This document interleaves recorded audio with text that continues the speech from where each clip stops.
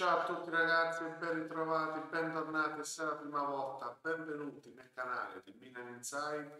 Oggi siamo qui per i voti per le pagelle di Empoli Milan 1 a 3. Prima di cominciare però ragazzi vi ricordo come sempre gentilmente di lasciare un like al video, iscrivervi al canale, seguirci su tutte le piattaforme e sul sito internet www.acmilaninside.com e ricordatevi di attivare la campanellina qui su YouTube. Allora ragazzi, l'analisi l'abbiamo fatta ieri, e abbiamo già detto di una partita tutto sommato meritata, condizionata dagli infortuni, condizionata da un eroe inaspettato.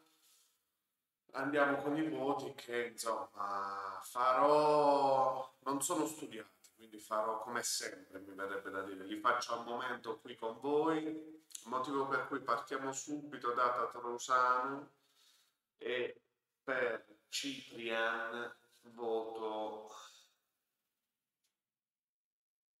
5 e mezzo.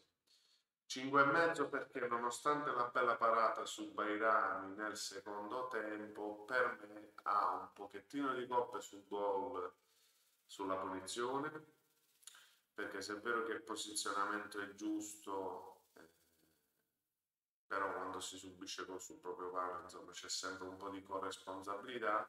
Poi non mi sembrava nemmeno una traiettoria granché imprendibile sinceramente. Poi nel primo tempo anche quella uscita mm, che mi ha ricordato un po' Milan-Roma sul calcio d'angolo e con la conseguente parata con la conseguente parata molto fortunosa insomma non mi ha trasmesso grande sicurezza. 5,5 per lui. Calabria, ufficialmente bisogna dargli un voto. Eh, praticamente dico che eh, nei 30 minuti, 39, quelli che sono stati, comunque aveva fatto sufficientemente bene, punto sì, però c'è poco altro da dire aveva cominciato bene con un po' di pressing in avanti, recuperando buoni palloni. Mi dispiace per il infortunio, speriamo non sia nulla di Kiev. nulla di che. Passando a Kiev, già avevo in mente il prossimo.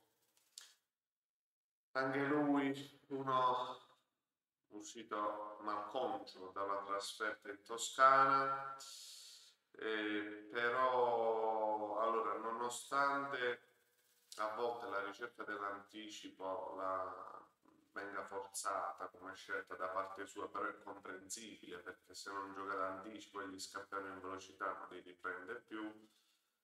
Eh, nonostante diciamo, questa scelta un po' forzata, mi verrebbe da dire che comunque la prestazione è stata buona, quindi voto 6 per lui.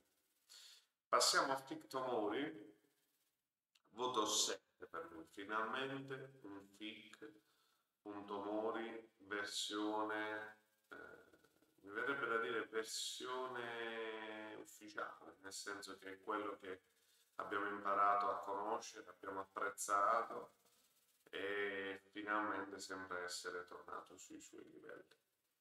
Ballo Touré. Hm. eh, l'eroe inaspettato che dicevamo prima. Allora devo essere sincero. Anche prima del gol non mi era dispiaciuta la sua partita, sia pure nella sua scordinazione, sia pure nella sua eh, diciamo non, è talmente difficile da trovare anche il termine. Scordinazione eh, sembra quasi impacciato a volte però non aveva fatto male motivo per cui la sufficienza comunque la prendeva.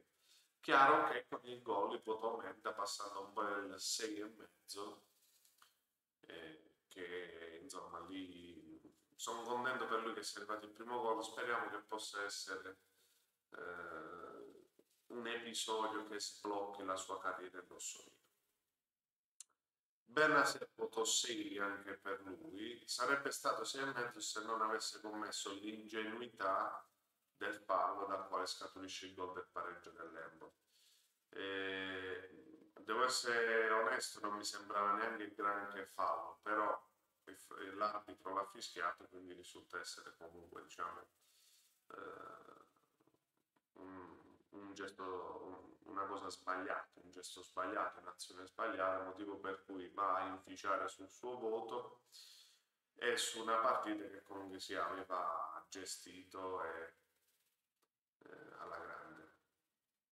Sono contento di Tonali perché gli do un bel 7. Non capisco sinceramente chi gli, chi gli abbia dato la sufficienza striminzita perché per me, oltre ad essere il protagonista di quella famosa, ormai purtroppo, rimessa laterale, sulla quale veramente si sta facendo troppo casino perché durante una partita vengono battute decine e decine di rimesse da posizioni non corrette, nel senso che vengono battute più avanti. E ehm, quindi oltre a quello, sinceramente veramente piaciuto per palloni rubati, un bel 7. Mm, sono poi l'emozione di vederlo con la fascia, sinceramente, ora è una cosa transitoria, però non vedo l'ora che diventi una, un gesto solito, ecco, mettiamola così, una scelta effettiva. Passiamo sulla tre quarti. Selemakers un po' lo stesso discorso di Calabria, nel senso che ha giocato poco, però ufficialmente il voto gli va dato e gli do un 5,5 non peraltro per il gol sbagliato davanti alla porta in maniera troppo banale, in maniera clamorosa. Dispiace per l'infortunio, probabilmente eh, lo terrà fuori gran, un, un po' di tempo. Eh, vediamo, potrebbe anche il Milan poi tornare sul mercato. Vediamo un po', vediamo un po' che cosa ne uscirà da questo infortunio. 5,5 comunque per lui. De Keteler. Allora, eh, io non sono d'accordo con chi gli ha dato l'insufficienza, sinceramente. Cioè, è stata la parte, a parte quella con Bologna, dove fu la prima, e quindi con tutte, eh, diciamo, l'eccitazione e, e, la curiosità di sto mondo, è stata la miglior partita di De Keteler. Vi spiego brevemente perché perché è stato tanto al centro del gioco. Tanto, tanto, tanto. Anche il pallone che aveva servito a Leao, che se Leao segna risulta essere un assist per De Keteler, è geniale anche come ha saltato l'uomo. Io non capisco chi, chi gli abbia dato l'insufficienza, sinceramente. Per me è un buon 6. Non, per, non 6 stiminzito, un buon 6 per, per quasi 6 più, 6 e mezzo. Però non capisco veramente l'insufficienza. Leao. Su Leao, signori, allora, da che punto di vista lo vogliate mettere? Quello del tifoso, quello logico, quello razionale, quello dirigenziale? Gli va data la cifra che merita. Gli va data la cifra che merita. Poi vorrà essere ceduto perché le offerte sono irrinunciabili, perché tante altre cose, però va rinnovato. Cioè non, non si può perdere, eh, ecco, mettiamola così in maniera banale, in maniera stupida. Non si può, non si può. Assist sul primo gol, lancio del secondo, autore del terzo. È una costante, poi è bello da vedere giocare. Eh, signori, pensiamoci bene. Giroud eh, nel primo tempo si era ostinato quasi a fare eh, continuamente gli 1-2. Fatto sta che poi insomma, la fatica si è vista, eh, sta tirando la carretta, eh, un 6 per il compleanno e per la stima di Giroud, che comunque sia stato autore di un grande avvio di campionato. Il voto di Leao non l'ho detto, ma non può essere che 7,5 anche 8. Per quanto riguarda i subentrati, allora andiamo con il primo ad entrare che è stato Punic. Il Borrade si adatta a tutto e ripeto, come ho sempre detto, non risulterà mai essere il peggiore in gamma perché dove lo metti metti fa la sua sufficiente figura, motivo per cui prende 6. Però insomma si vede che dai meglio in altre zone del campo. Per quanto riguarda Calulu, eh, non ha dovuto fare particolari interventi, alla fin dei conti l'Empoli quando sfonda eh, lo fa per contropiedi dove magari poteva essere posizionato un po' meglio, però la sufficienza la raggiunge. Dest eh, l'ho visto poco, sinceramente. Eh, ricordo azioni particolari, forse è stato impegnato più in difesa, motivo per cui eh, sì, mm, sì, pure per lui, nulla di, nulla di che da segnalare, normale amministrazione mi verrebbe da dire. E poi restano Diaz e Rebic. Per quanto riguarda Diaz, sembrava entrato con un piglio buono, giusto, salvo poi perdersi solite, nei suoi soliti impappinamenti quando si ostina troppo a tenere pallone.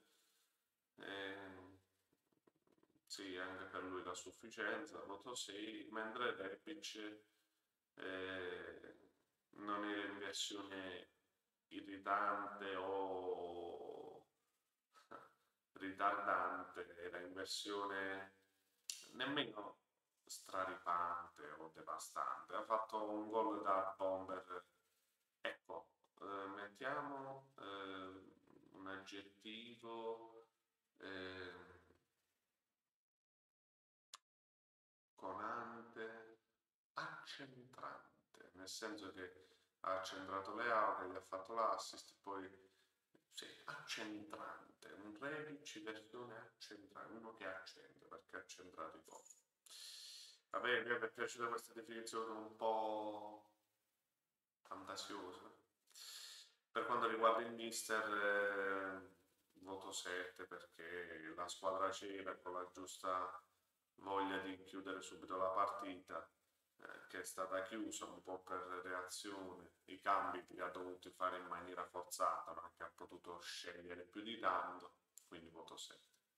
Questo è quanto ragazzi, fate, fatemi sapere qui nei commenti, ragazzi, chiaramente, fatemi sapere qui nei commenti cosa ne pensate, i vostri voti. Vi ricordo ancora gentilmente un like, iscrivetevi, campanellina, qui e da tutte le altre parti e il sito www.cmninsight.com Ciao ragazzi, poi ci vediamo domani, dopodomani perché c'è anche la Champions, insomma ci vedremo spesso. Ciao ragazzi e sempre forza mia.